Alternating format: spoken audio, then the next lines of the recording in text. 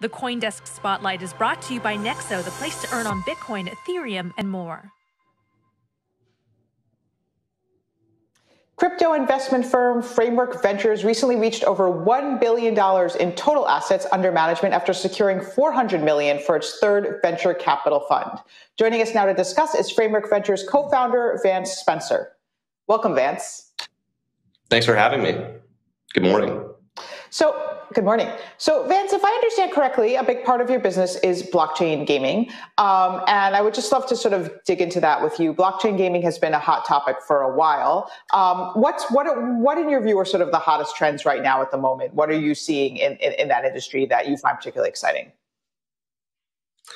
Yeah, I mean, you know, blockchain and, and, and blockchain gaming is the biggest product market fit within crypto today. There's about 3 billion people who play games globally. There's 1.5 billion people who have an internet connection that earn less than $5 a day. And the, and the high level thesis is that these people are going to play, play to earn games because they have, frankly, better financial incentives to do so. On the tail end of that, we also see developers moving from free to play to play to earn because, frankly, free to play is, is picked over and there's just not a whole lot of opportunity there. So we're seeing a confluence of both developers and the emerging markets in the world that are coming together towards play to earn. And it's just hugely exciting. And it'll be nine or 12 months before we see the first games launch. But you know, we want to get ahead of it, and that's why we've carved off so much of our fund to invest. So, also, my understanding is that you're very involved in the intersection between blockchain gaming and DeFi specifically. Can you talk a little bit about that, about why DeFi is needed for blockchain gaming and what benefits it brings?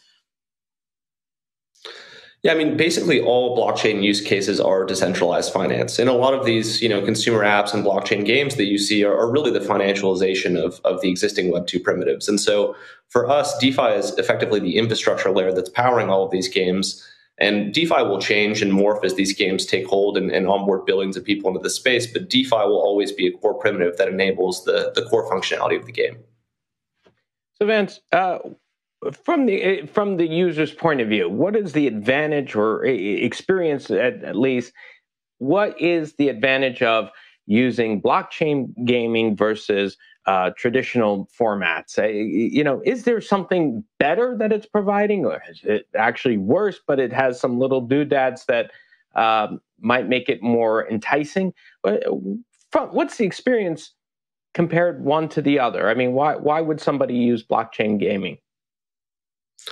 Uh, the biggest part is that there's just better economics. We've gone from you know paying fifty dollars for a disc to play a game to free to play games, which cost you know nothing for the user. And now the logical extension is moving to the other end of the economic spectrum, where people are actually earning money and and you know have items of value as they play a game. And so you know that's one of the primary benefits. The other benefit is is just effectively that these games have open economies. When you play Halo or you play you know pick your video game, there is no notion of the economy of that game expanding or contracting when you play Axie, you know, you can have the NFTs get more valuable. You can have SLP become more valuable, onboard more people in the game, and the game can become quite large.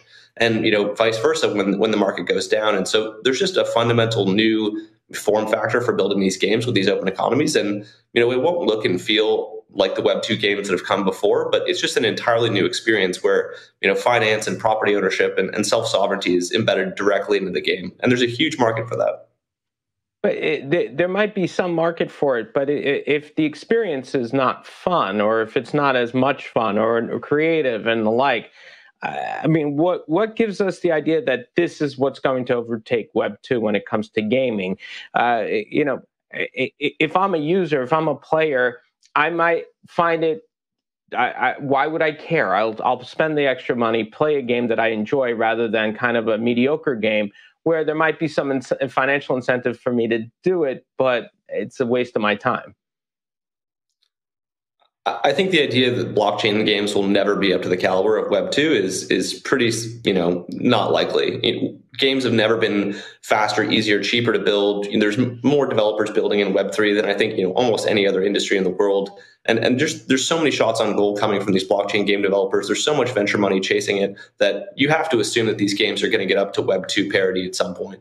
Um, and so the games will be at some point, you know, as fun and as enjoyable as the existing uh, Web two games to play. It'll just take a couple years, and then it just comes down to what are the superpowers that are in this game that are uniquely enabled by blockchain.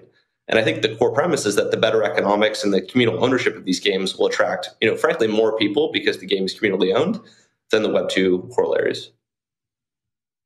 Can you talk a little bit about the geographical distribution of blockchain gaming fans and users? So, you know, we saw with like Axie Infinity, you know, the Philippines has been a real hotspot for blockchain gaming. I'm just curious what you've seen in your observation. Are there any other countries that maybe people are less aware of that are like really active in this space, or, or where are you looking at geographically?